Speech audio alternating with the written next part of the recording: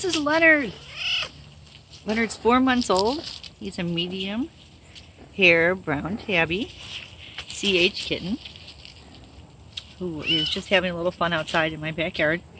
Don't worry, I'm with him and it's fenced in, so he can't go anywhere. But he has good traction out here in the grass, so he, he likes it. He likes the leaves. The leaves blow by, he chases the leaves. He likes the little bugs. You can see he's busy, he's talkative. Leonard loves shoes. Can you show him how you walk? Come on.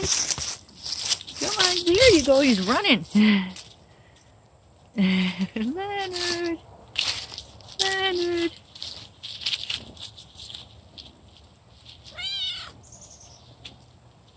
Leonard is looking for a home, especially purebred cat rescue.